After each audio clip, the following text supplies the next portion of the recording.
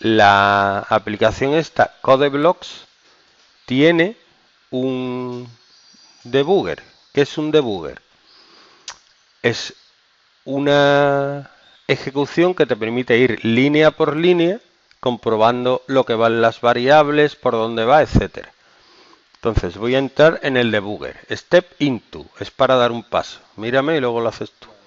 Le doy. ¿Vale? Y fíjate, va por aquí. Cout. Escribe una letra. Si miro el programa, todavía no lo ha hecho. ¿Vale? Ahora lo va a ejecutar. Le doy. Step into. Otra vez.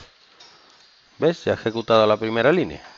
Ahora, in letra. Le doy a ejecutar y espera a que yo meta la letra. La E, por ejemplo. Le doy a intro. Y vuelve a la siguiente línea. La letra es una e imprime la letra es una. ¿Vale? Ahora, if vocal letra. Como aquí llamo una función, lo que tiene que hacer el programa es irse aquí, a la función. ¿Vale? Entonces voy a ejecutarla y voy a ver lo que pasa.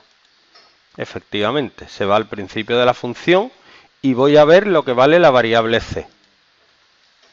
Mira, si me pongo encima de c, ¿ves? Pone 101e char. Es una variable de tipo carácter que contiene la letra e. El 101 es el código ASCII, ¿vale? Sigo. Mm, step into. Hace el case. No ha pasado por esa línea porque ha detectado que es una E. Entonces ha ido aquí. Return true devuelve un true. Entonces después de esto tiene que volver al programa principal. ¿Vale? Termina la función y salta Claro, al final esto no lo hace porque el switch es una condición. Si es esto, ejecuta esto y sale. Vuelve al programa principal, eh, evalúa el if. Como es true, va aquí. ¿Ves? Si te pones aquí, ha salido algo, ¿no?